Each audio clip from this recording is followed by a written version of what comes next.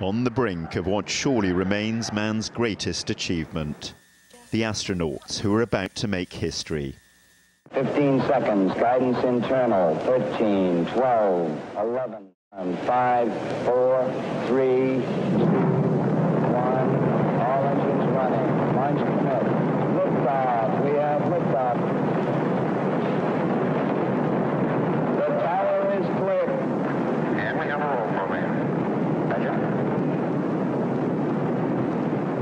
Uh, uh,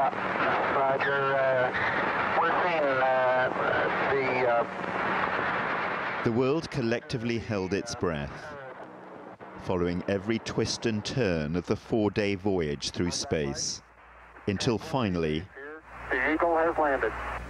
It's one small step for man, one giant leap for mankind. Neil Armstrong stepped gingerly onto the surface of the moon. Surface is fine and powdery. I can, I can pick it up loosely with my toe.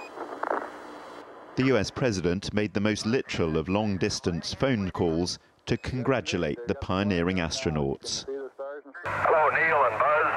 I'm talking to you by telephone from the Oval Room at the White House. And this certainly has to be the most historic telephone call ever made. Proud we all are of what you... For every American, this has to be the proudest day of our lives. It was one of Nixon's predecessors who'd ordered the mission to the moon eight years earlier. The overriding aim was to get there before the Soviets did.